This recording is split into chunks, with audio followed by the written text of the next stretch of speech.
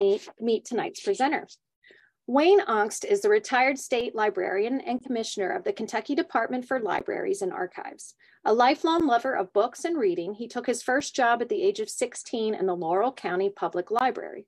After obtaining degrees in history and library science from the University of Kentucky, he was a librarian at the Kenton County Public Library for 27 years, serving as director of the library from 1999 to 2006. In 2006, he was appointed state librarian and commissioner and served until 2015. He has authored two books, Buffalo Trails to the 21st Century, A History of Erlanger, Kentucky, and Presidential Visits to Kentucky 1819 and 2017. Wayne and his wife, Debbie, are residents of Erlanger, Kentucky. They have two sons and three granddaughters. So thank you so much, Wayne, for joining us. Several years ago, uh, the president came to Kentucky I, I was reading articles about it in the newspaper, and I wondered how often this had happened.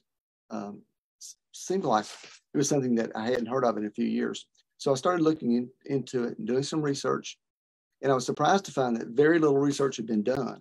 In fact, there was no list of the presidential visits, um, not very much information at all.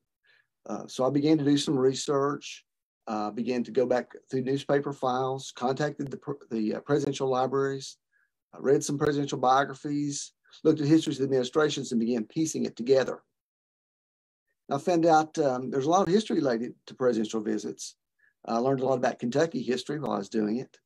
And I found that there's usually some kind of interesting story, either why the visit came about, or things that happened during the visit, or who the president met so um, I thought I'd put together so, some research.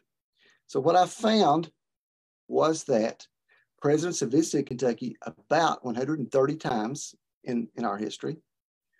27 different presidents have visited Kentucky while they were serving as president.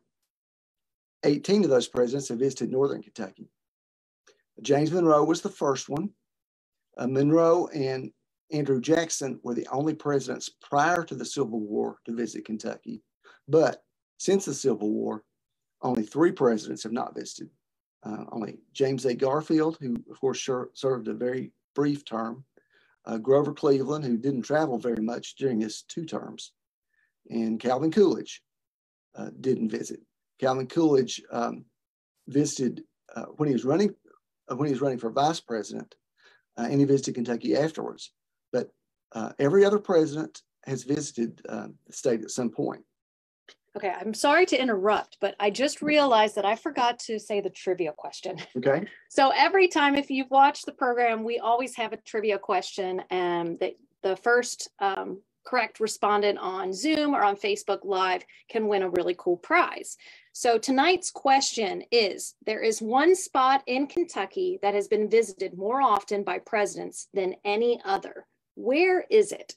So go ahead and get those um, guesses in on the chat or on Facebook Live. Go ahead and leave those in the comments and we'll get to that at the end. Once again, sorry to interrupt. That's okay.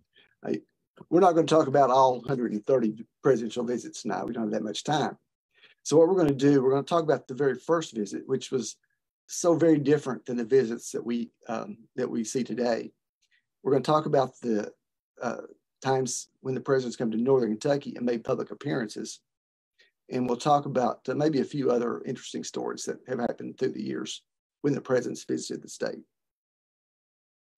Uh, we see the president on TV basically every night. Everything the president does is documented. Uh, he makes headlines on a daily basis. Uh, so we, we see him all the time. But that certainly was not the case in 1819 uh, when uh, James Monroe visited Kentucky for the very first time. He became the first president. Uh, a trip from uh, Washington, D.C. to Kentucky uh, at that point was long, arduous, and, and, quite dangerous. So the first four presidents were not able, able to visit.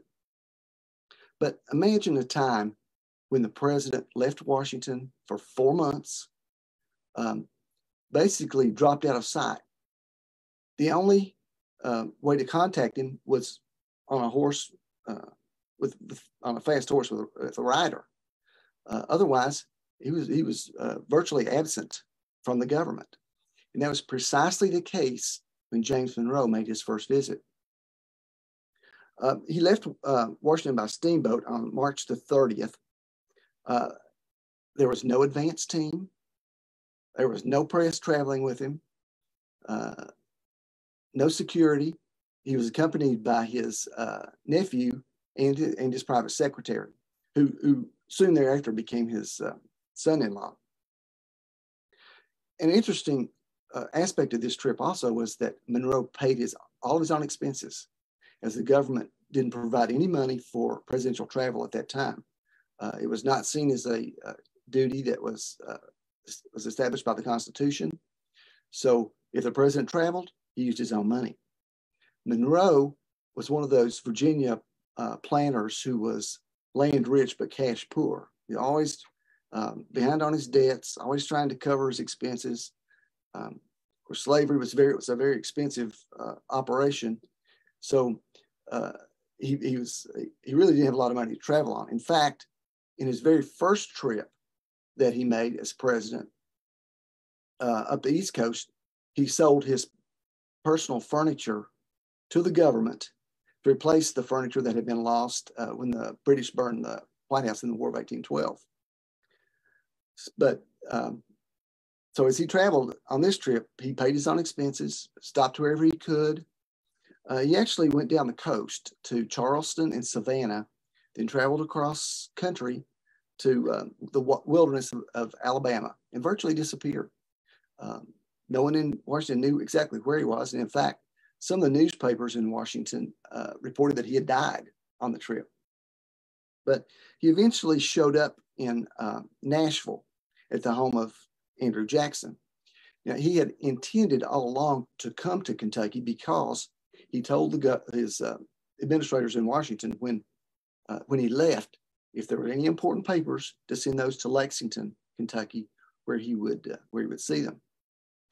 So he uh, he left he left the Hermitage with Andrew Jackson uh, on June the uh, June the twenty fourth, uh, and and came into Kentucky. It took him a few days, of course, from Nashville to get to Kentucky. Uh, it was quite a long journey from Nashville to to Louisville. So um, along the way, they stopped at homes, they stopped at inns, wherever they could stop for the night. And it must have been pretty interesting when uh, the President of the United States and Andrew Jackson, the hero of New Orleans, stopped at someone's home and asked to spend the night. But that's exactly what happened. Uh, Monroe was uh, very popular in Kentucky. Uh, he's considered somewhat of a favorite son because uh, before Kentucky was a state, he had represented uh, Virginia in the uh, Continental Congress, and he had always supported the Kentucky's right to use freely use the Mississippi River to transport goods, and that was the only way farmers had to get their pro products to New Orleans and to sell them. Uh, he'd also been an advocate of Kentucky's statehood all along. Uh, uh, he was a um, follower of Jefferson, which, who of course was very popular in Kentucky. So Kentuckians loved him. Wherever he went, they flocked to see him. Um, new, local newspapers would uh, announce that he was coming, uh, but they didn't know exactly when. He didn't have a real a real firm schedule, so uh, lookouts would uh, would wait outside of town. Uh, when, as President Monroe got near, folks would rush out to meet him. They would have a welcoming committee. They would invite him into town where he would make speeches and and visit with with his with the residents there. The um, the trip had some political implications. Monroe was getting ready to run for reelection, um, and um, he wanted to mend some fences. Henry Clay was a possible opponent, so uh, Monroe wanted to make sure that Clay knew how popular uh, he was, and that he was ready to take him on. Uh, Clay was not in the state at that time, but he later did meet with, with Monroe at the very end of his visit. But um, the, some of the newspapers uh, in Kentucky, interestingly enough, um, asked the folks not to, to uh, receive the president as a god, as they, as they called him. Um, the Republic was new, um, and there were some concerns about um, treating the president like the king had been treated in Great Britain. Of course, the Revolutionary War, part of the objective of that was to get to uh, get rid of the king and, and the royal government. So there was still, even, even at this point, there was concern that the president should not be treated like a king. And there was a note in one of the newspapers as, as the president left after a month that, that read, We have been led to hope that he would be treated on his passage through the state as a man and not as a god. But in this, we have been disappointed. So, so the folks really did appreciate his visit. They came out to show him, to celebrate him. Um, President Monroe came to Kentucky, as I mentioned, for political reasons, but also he came for some personal reasons. He owned thousands and thousands of acres of land in Kentucky. In fact, when he was in Lexington during this trip, he sold uh, land that he had owned in Campbell and Pendleton counties. Uh, he had planned to come north to Cincinnati and then go down the, the uh, Ohio River um, to St. Louis. But when he got to Lexington, he had been gone from Washington, as, as I mentioned, for more than three months. He was tired, he was sick. So instead of going north and west, uh, he stopped at Harrodsburg. And you may know that at that time in the mid mid 1800s, uh, Harrodsburg had a lot of mineral springs, famous for health that people went to for health reasons. So the president went to Harrodsburg. He asked for no public visitors, uh, and he rested and used the mineral springs to recover his health. And then he returned to DC uh, on the old Wilderness Road down through the wilderness. So he was gone for, for more than four months at that time. Uh, you can see his, his visit here. Um, he covered really a, a, large, large part of the state, uh, all on horseback. And it was the longest, obviously, the longest presidential visit to Kentucky. Uh, he was here more than a month and uh, covered a lot of territory and saw a lot of people. And for many people, it was the very first connection they had with the with the new federal government. And the trip certainly was considered successful. Monroe ran for reelection. Of course, that was he was reelected unanimously, the only time that the president has, has ever done that.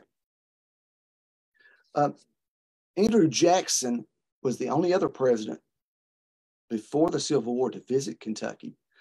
Uh, of course, his home was in Nashville, as we mentioned, and he came back to Tennessee from, from Washington four times during his eight year term.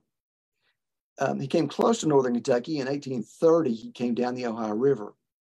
But uh, he, uh, he didn't stop in Northern Kentucky, but he, he did stop in Cincinnati. But he, um, as you, uh, of course, that was before the locks and dams were, on the Ohio. And during the summer, it was a real problem on the Ohio River, the water level would get so low that um, boats uh, boats didn't have enough water to float.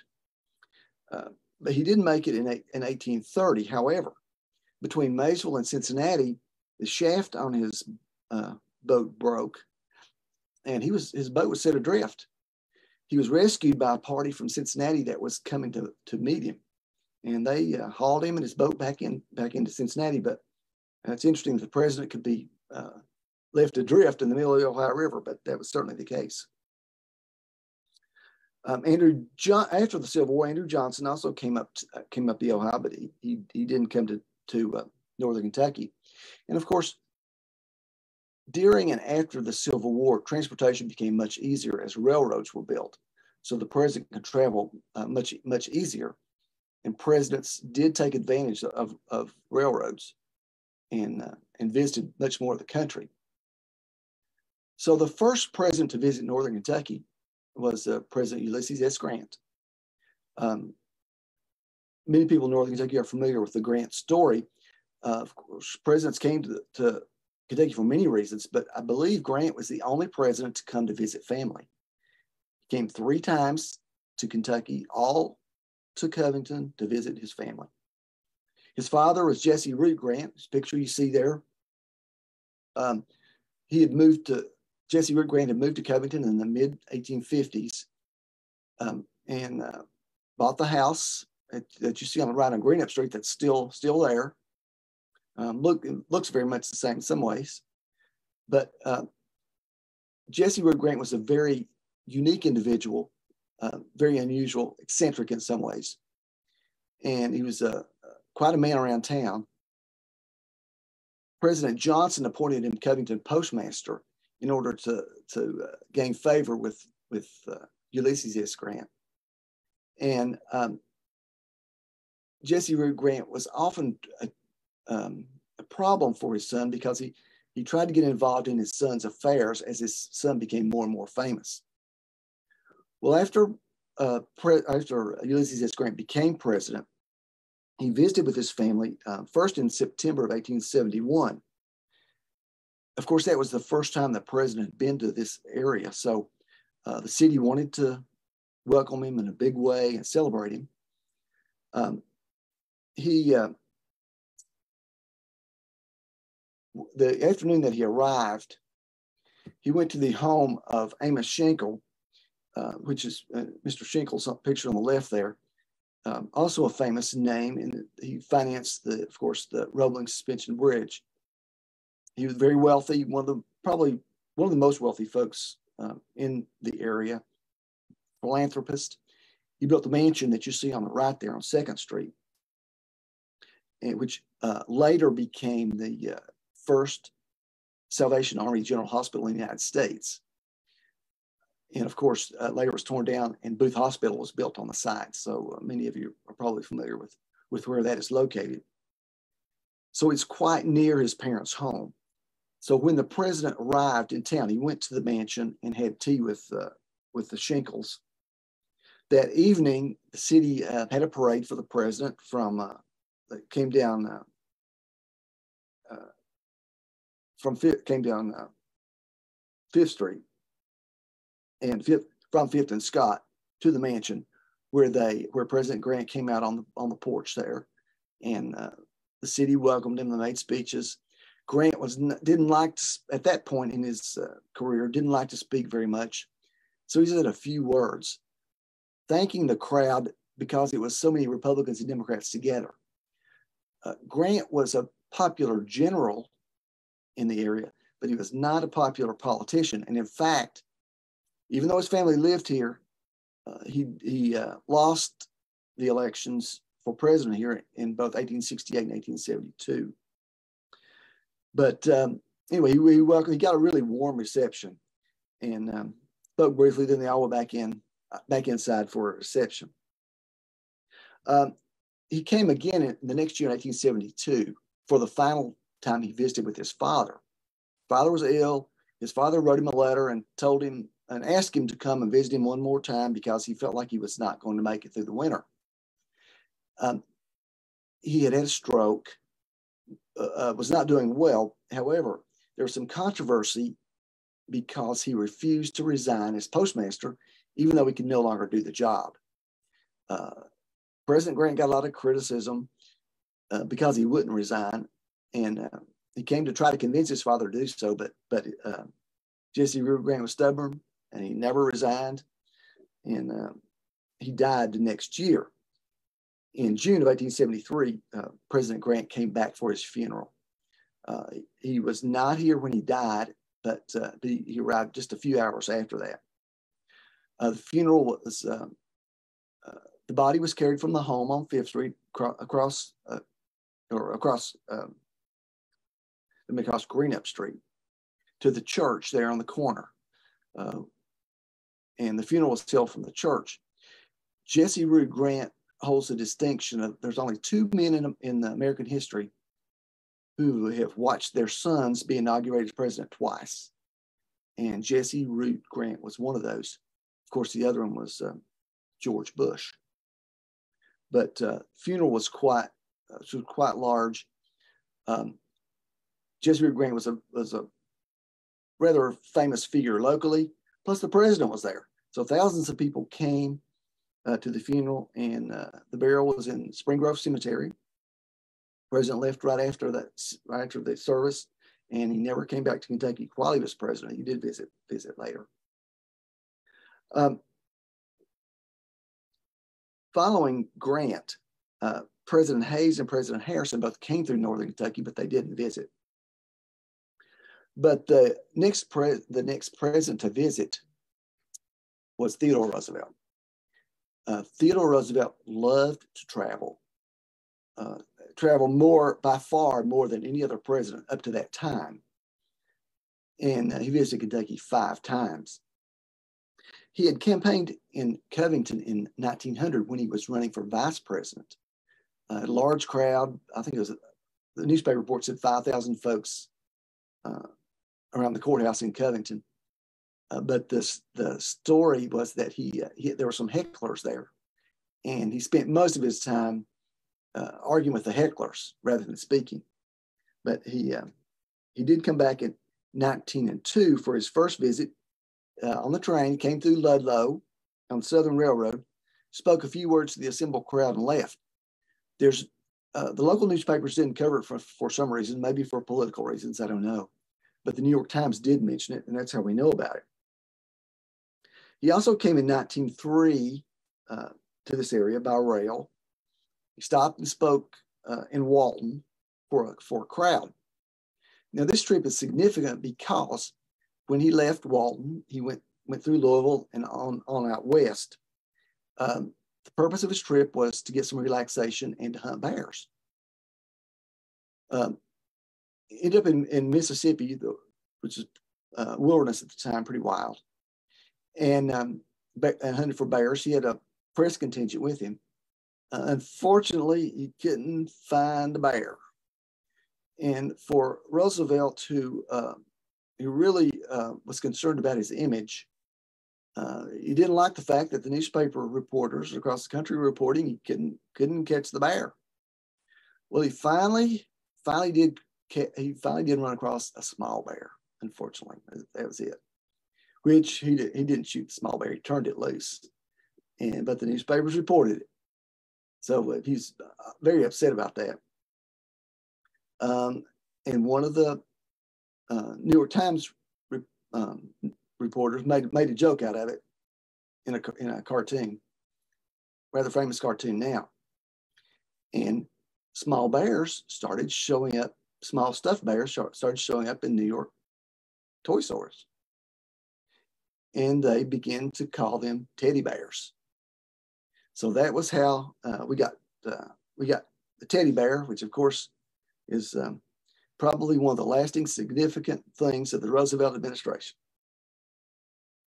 Um, he came back in 1905, uh, again by train. Um, and at, at, that point, um, of course, the president almost always traveled by train. And the, the government continued to refuse to pay for his for the expenses. So the uh, train companies would offer the president when he wanted to travel their most luxurious accommodations. So uh, the, the president of the railroad companies would give them their personal car to travel. But in 1906, uh, Congress finally began to regulate the railroads.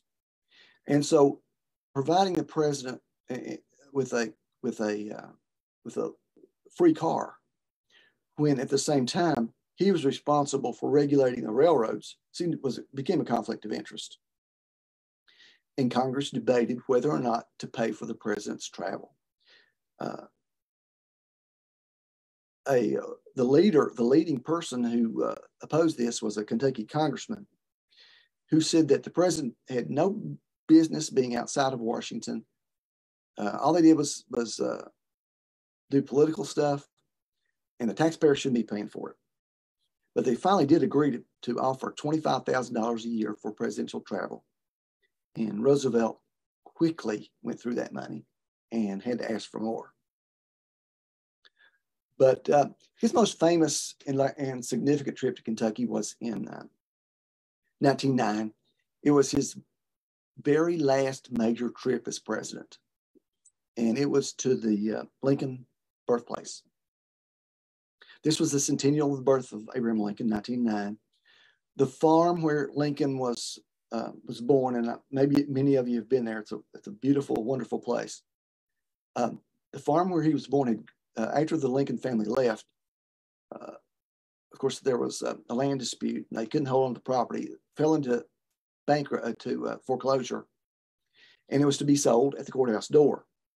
Well, a, a whiskey company uh, was um, offering to buy the property, and they would use the spring that the Lincoln family had used um, for the water to make whiskey.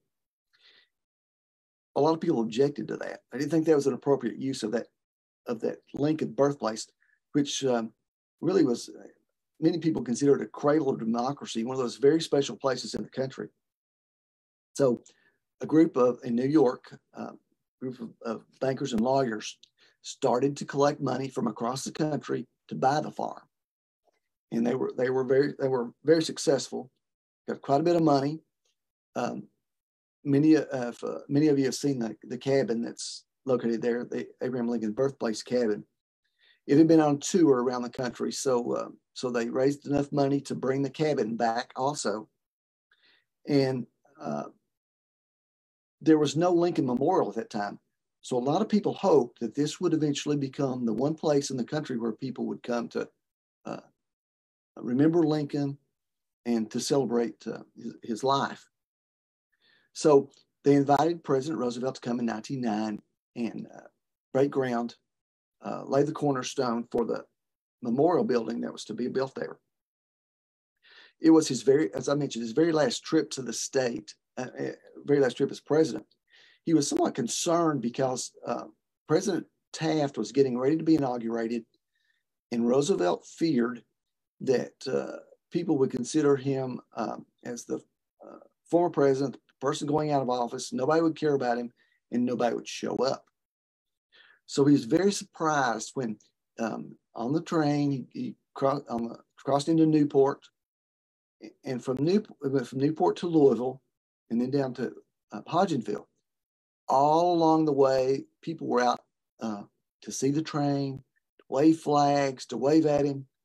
Uh, and uh, the press report said that he, he ran from side to side uh, to see the folks. He was so excited and, and so pleased with his reception. And you can see when he was, as he was finished, uh, this is a, a, postcard that shows that his family was with him. You can see uh, President Roosevelt uh, on the left side uh, walking down the hill, and the cabin is up on the back behind in the back. Uh, for those of you that have been there, you know the, where the memorial building is. The memorial building set there on the spot where the cabin is, and, and it's what we see today. His wife and his daughter were with him, and he later said that that was one of the one of the uh, best trips he took as president. Um, of course, President Taft was his successor. President Taft lived uh, was from Cincinnati, lived just across the river, but and he did pass through northern Kentucky a couple of times, but he but he never stopped here. His uh, first trip was a little, little interesting. One to northern Kentucky, but I'm going to talk just a little bit about it. It came down the Mississippi River. The, the uh, Panama Canal had just been opened. And unfortunately, the Mississippi was not a very navigable river at that time. The big boats coming through the Panama Canal could not navigate the Mississippi River. So President Taft uh, was trying to encourage Congress to spend the money to deepen the, the channel of the Mississippi and widen it so those big boats could come through. So he made a made a trip down the Mississippi to uh, campaign for that.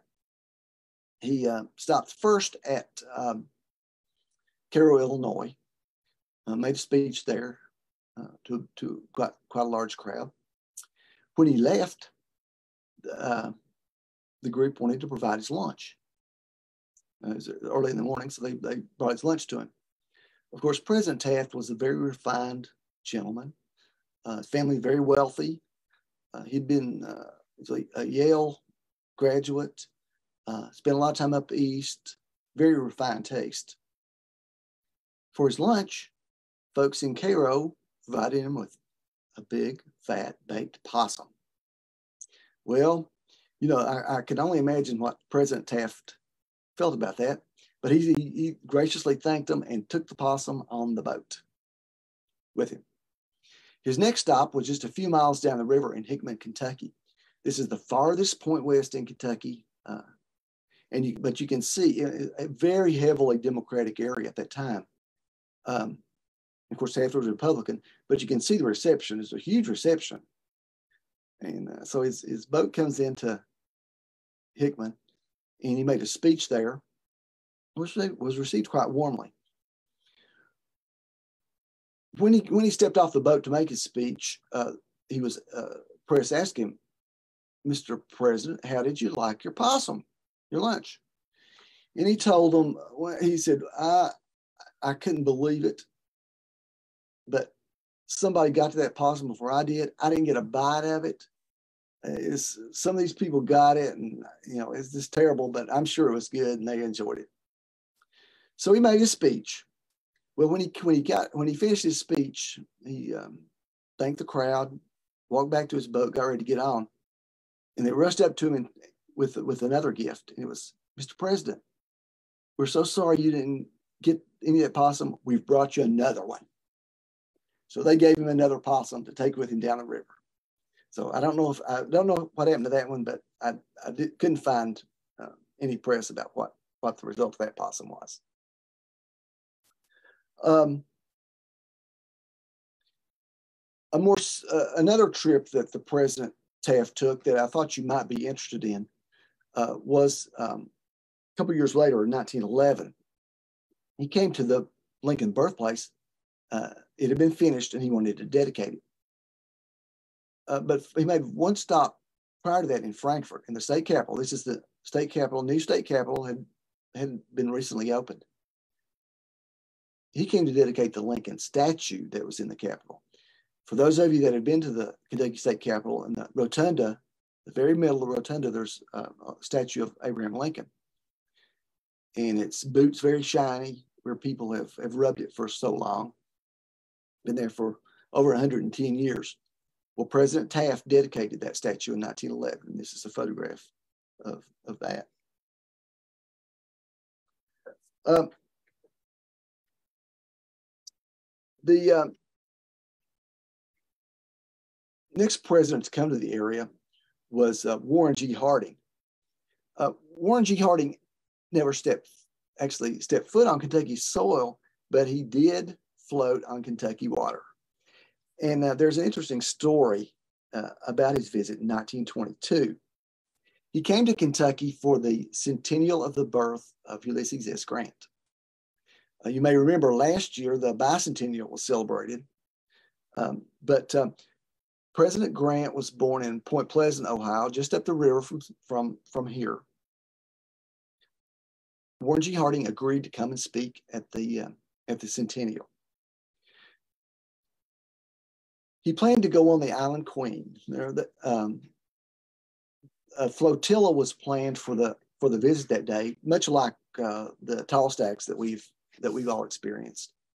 Well, um, the Island Queen was one of the was one of the boats, and uh, the president was uh, expected to travel on the Island Queen, and he's going to come back on the Morning Star.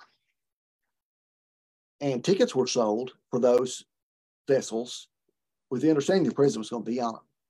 However, when the um, Secret Service learned of this, they weren't too happy with the idea of the president traveling on the Island Queen, knowing that uh, you know uh, there's some uh, probably some folks who had partied a long time that would be on that boat. They were celebrating, and people were packed. Were going to be packed on the boat, and they thought it wasn't such a hot idea. So the night before, they decided that the president should go on the Cayuga. And so that morning, the morning of the of the speech, he got on the Cayuga and went upriver. And it was quite a fortuitous decision because um, as the boats went up the river, the Ohio River, folks lined both sides of the river, the Kentucky side and the Ohio side. And in fact, schools had been called off that day. Businesses were closed to celebrate the president. Uh, there were parties on both sides. And as the boat neared um, Point Pleasant, fireworks fireworks were uh, were shot from from uh, the Ohio side. So when that happened uh, on the Island Queen, uh, the passengers on the Island Queen rushed to one side of the boat. the deck collapsed, and there were a number of serious injuries. So fortunately, the president was not on on that boat at all. Um, it was, um, I guess, an omen because uh, later that year, uh, the Island Queen burned in dry dock, and of course, uh, the next year, uh, President Harding died on a on a trip to the west. So it was um, an ill-fated, kind of an ill-fated trip. Um, President um, Coolidge, as I mentioned, did not come to Kentucky, and uh, President Hoover came several times, but he never made a public appearance uh, in northern Kentucky. But the next president who did was Franklin Delano Roosevelt. Um, again, like President Theodore Roosevelt, he loved to travel. Um, he traveled uh, five times to Kentucky, matched matched Theodore Roosevelt's visits. His first visit in 1934 was uh, to Harrodsburg. Uh, to Fort, he was uh, dedicating a monument at Fort Harrod uh, State Park. It was one of his first um, major visits, especially to uh, celebrate uh, a monument that had been built during with WPA money. So he came to Harrodsburg it was quite a crowd. You know, people didn't get to see the president very often. And this is the kind of crowds the president would draw. Uh, this is in Harrodsburg, uh, thousands and thousands of folks um, just, just to see the president. Um, his most famous Kentucky visit, however, was in 1938, and it was to Latonia Racetrack. Uh, the reason that this uh, visit was, was so significant uh, by 1938, uh, many of the New Deal uh, initiatives were running into opposition. Uh, the Supreme Court was conservative, Congress was becoming more conservative, and Roosevelt was having a lot of trouble getting his policies, uh, even through Congress. The man that he depended on more than any other to get his legislation through was Senator Alben Barkley, who you see on the right. Uh, he was the majority leader. Of course, he was a Kentuckian, the majority leader of the Senate. He was up for reelection in 1938. And Roosevelt absolutely had to have him reelected. Uh, unfortunately, uh, the young, uh, popular, young, charismatic, ambitious governor of Kentucky, Albert Benjamin Chandler, who is seated in the middle, uh, decided that he uh, wanted to run for the Senate. His term was up the next year. At that time, Kentucky governors could only serve one term. He was looking for his next office. And he decided that the Senate was the place where he wanted to be. So he's going to challenge Barkley in the Democratic primary. Uh, President Roosevelt called him into the Oval Office and asked him personally not to run. Uh, but uh, Chandler did it anyway. So uh, President Roosevelt decided he was going to make a trip to Kentucky to campaign for Barkley. This was unprecedented. Uh, certainly, a president didn't get involved in uh, party primary politics, but Roosevelt felt like it was imperative that he do it. So his first stop that day was at Latonia Racetrack. Um, and when he, um, he, he uh, came to the uh, Union Terminal, and when he arrived, stepped, and he was, when he was uh, taken off the train in the terminal, who was there but Governor Chandler waiting for him? Uh, of course, Governor Chandler knew that Roosevelt was coming to speak in behalf of his opponent, but he showed up anyway. And that was just the kind of guy he was. Um, there was there was a huge, huge crowd. Uh, all the businesses closed that day. Uh, people were given holiday days off. Uh, racetrack was packed. Uh, there were uh, tens, tens of thousands of folks there to hear President Roosevelt, who was immensely popular in, in this area and, and, in all of Kentucky. And uh, Roosevelt made his speech on behalf of Barkley, with Chandler sitting right on the speaker stand with him, right in the middle of them. But uh, he um, he completed his speech. Uh, the photograph that you see here, um, there was a lot of controversy because uh, Barkley, of course, criticized Chandler. He claimed that that uh, Chandler jumped in the car and climbed between the two men, uh, so he'd be in the middle. Chandler, on the other hand, argued that he had been invited to sit there, which uh, was likely not true. Roosevelt uh, later told folks that Chandler had more gall than any politician he ever met. Um, the election, um, uh, Roosevelt finished his tour. The election was extremely dirty. Probably, uh, we we think we have dirty campaigns today, but that was probably the worst ever. And in fact, uh, as a result, there were congressional hearings as a result of this campaign, and the Hatch Act was passed to try to prevent candidates from using uh, government resources for political purposes. Chandler claimed that Alben Barkley used federal money uh, for his, in his campaign, and Barkley claimed that Chandler used state money in his campaign, and both of them were probably true. But uh, Barkley uh, defeated him rather easily and went on to uh, uh, serve as majority leader for another term. Ironically, the other senator from Kentucky died the following year, and Chandler uh, resigned as governor and was appointed to that Senate seat. So he got to the Senate anyway. Uh, Roosevelt made a couple of other trips to Kentucky after following that. This one, uh, I like. I just like the photograph. He came to Fort Knox in 1943. It was um, supposedly a secret wartime mission. He went to different war plants, uh, different uh, forts, and and visit with troops. Uh, so he came to Fort Knox and took a tour. Uh, the soldiers there gave him a tank, uh, which which he's admiring there, and that's the the governor that followed Chandler sitting next to him. Very young governor, but uh, I just like that that photograph. I think it's pretty good. Um, neither Truman, neither President Truman nor President Eisenhower came to Northern Kentucky. They did come through.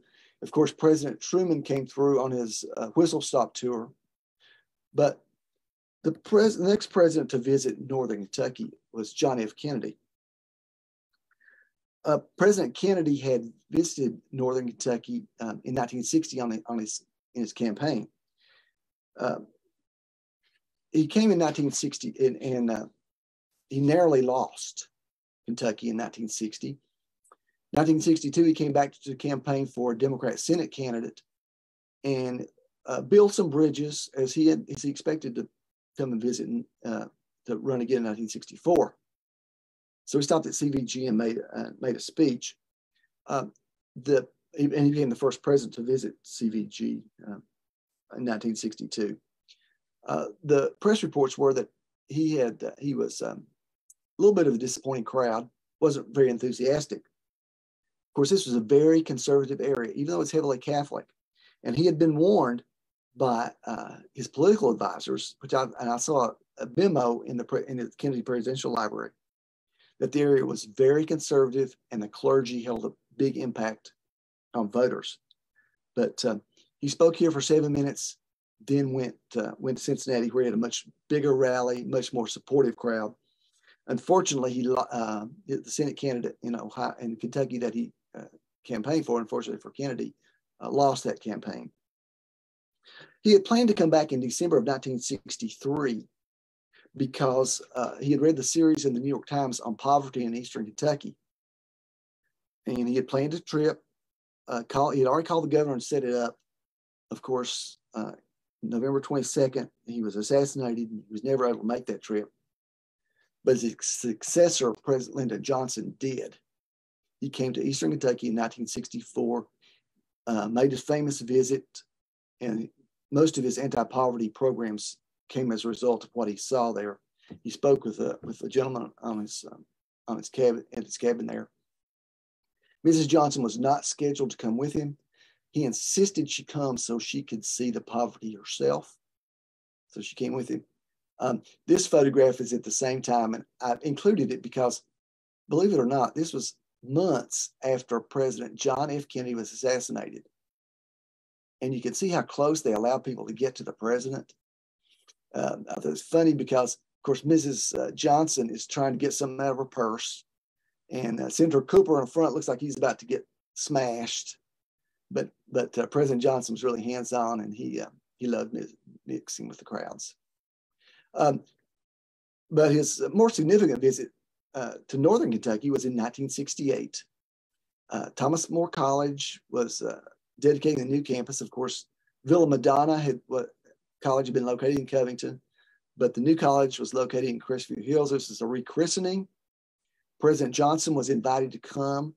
Um, they didn't know until the very last minute whether he's going to come. In fact, two programs were printed. One was printed with the president, and they took a program out of town to print with the president. They were trying to keep his visit a secret.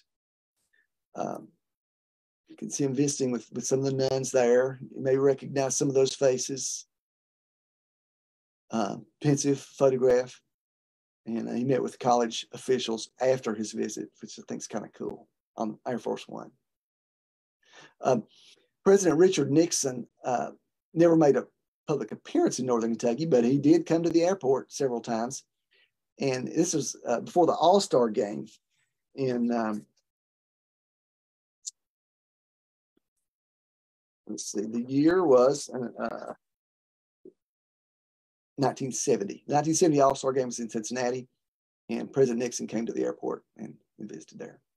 Uh, President Clinton made the next pub public appearance in Kentucky. That was um, he came to Carrollton.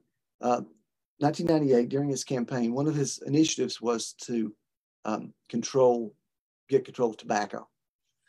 So he came to Carrollton because that was the center of tobacco production in Kentucky. He wanted to talk to the farmers. Uh, you see, Wendell Ford there is on the left and Governor Paul Patton on the right. Um, while Clinton was popular here, most heavily, most people heavily opposed his attempts to regulate tobacco. Um, so he came to explain his, his purposes.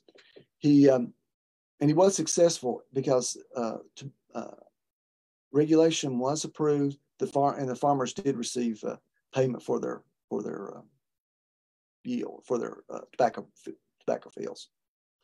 And finally, uh, President um, or a couple more couple more visits. I know we're about to run out of time, but President George Bush visited Kentucky more than any other president, and he spoke at Northern Kentucky University in 2006. Uh, he was obviously quite popular here. He spoke at NKU and then went to the Hilton in Florence, where he had a fundraiser for, at the time, Congressman uh, uh, for the for the uh, for local congressman, um, and um, he he uh, he spoke at Regents Hall, which is a very small, very small um, venue. Uh, before, of course, before the new before the new arena was built, but he was supposed to speak on uh, business initiatives because NKU was was very uh, well known for that, and he was congratulating the college on its success in creating entrepreneurs. Instead, he kind of went he went off off uh, track and spoke more about uh, the war in Iraq, which at that time was uh, was becoming a serious problem for the president. Um, and then he, as I say, he, he left there and went to speak on behalf of Congressman Geoff Davis and raised a lot of money um, for there. Um, and I also want to mention, of course, the most recent visit. Uh, President uh, Biden came uh, to Northern Kentucky in January and spoke at the Brent Spence Bridge. Um, the this is is I think it's going to be a more significant visit as time goes on, because um, along with him was was of course was Senator Mitch McConnell.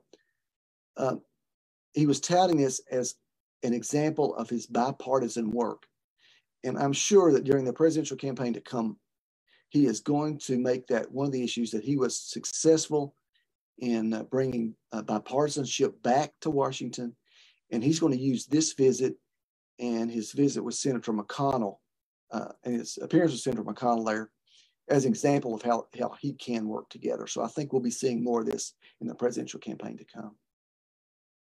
Uh, it's a beautiful day. Covington couldn't have shown off better.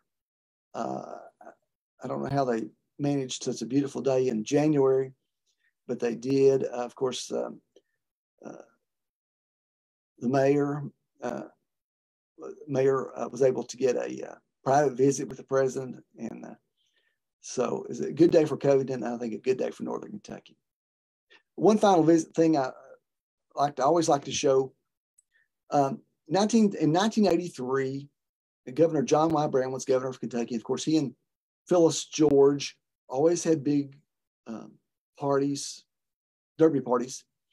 And this one in 1983 was especially spectacular because, as you can see there, who his guests were um, Donald Trump, who's, who's speaking there, um, and, his, and his first wife, uh, Ivana. Uh, you see uh, Mrs. Carter, who is sitting in front of Donald Trump there. She and, and former President Carter were there. Uh, you may recognize on the left, who is there? Uh, Hillary Clinton. Hillary and, and uh, future President Bill Clinton were there. And George and Barbara Bush were there. So he had five men there who were presidents or future presidents that one one party. So I was enjoy enjoy that enjoy showing that picture. Very cool. Well, thank you so much, Wayne. I'm going to go ahead and stop sharing our screen and turn it over to Heather for a second and see. I'm sure we've got some questions and comments for Wayne. Um, we don't have any questions or comments yet. So if anybody has some, go ahead and put those in the chat. But we did have a trivia winner. Um, so I don't know if we want to talk about that a little bit. Just to remind everyone, the question was that there's one spot in Kentucky that has been visited more often by presidents than any other. And where was that? Um, the answer was CVG Airport, and that was answered by Joe Schmidt. So, congratulations, Joe. You'll be getting your prize in the mail. Way to go, Joe. Right.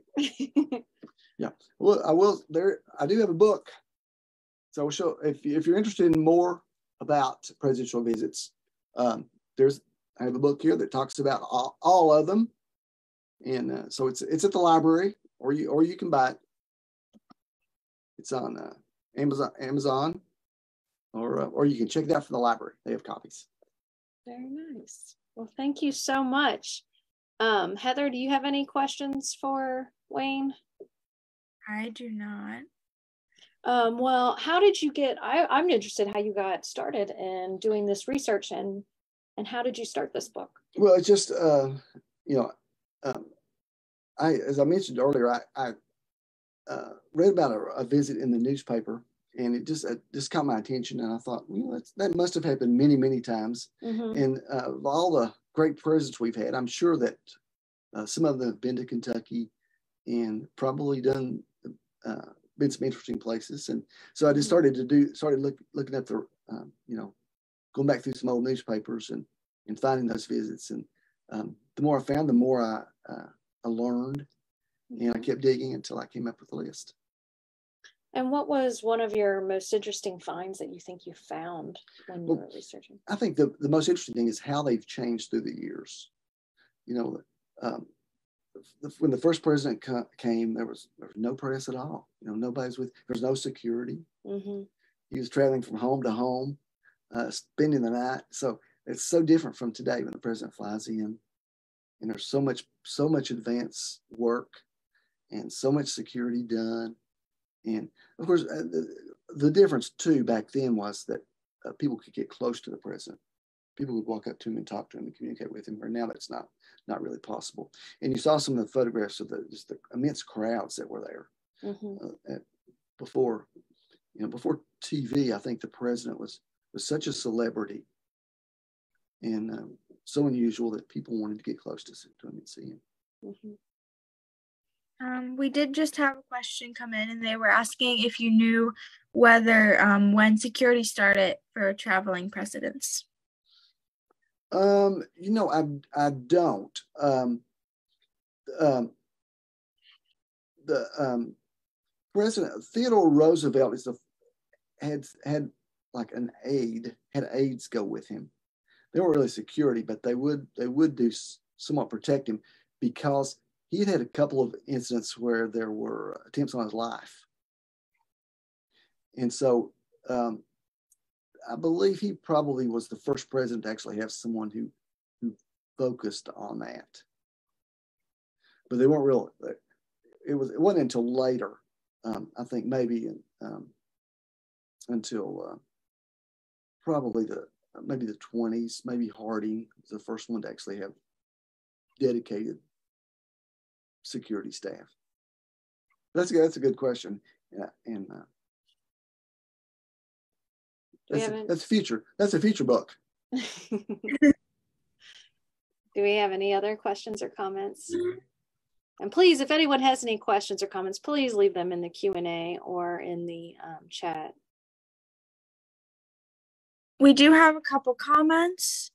Um, this one, I guess you know this person, is from Judith Marlowe. They said, It's great to see you again. They didn't realize you were living in the air again, and your research is so fascinating in its detail. And what an especially interesting presentation.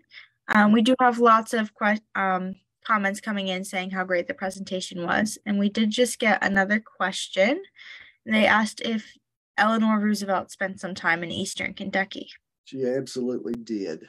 And that's, you know, that, course, I didn't focus on her a lot because she wasn't president, but um, she, of course, she came more than probably any first lady. And she was really the first first lady to travel on her own without the without the president. She came to Eastern Kentucky a bunch. In fact, there I've, I've read a couple of reports where she uh, she drove her own car into Eastern Kentucky and uh, the roads weren't that great. And there, was one story where she, uh, her car, like she had car trouble and had to get help getting out and everything. But um, she came a number of times to Eastern Kentucky, a lot of times to see uh, work that the WPA was doing. Um, I have a great picture of her with uh, a, the pack horse librarian. Somebody may be familiar with that. That's that's a whole other story. Sometimes I love to we love to uh, do a do a talk on the on the pack horse libraries, but um, and she came to dedicate. There were several schools she came to dedicate, and she just came to uh, just to visit and to really to rest several times to Eastern Kentucky. So so she absolutely did, and and um, that's a great question, and, and I I'd love to do more research on that and to get more details on all the times she came and what she did. Mm-hmm that is all the questions that we have right now. Okay, well, we're just about out of time, so that kind of works out right there. But I want to, th- again, thank you so much, Wayne. It was very fascinating, and I encourage everyone to check out his book, um, Presidential Visits to Kentucky, 1819 2017. So thanks again.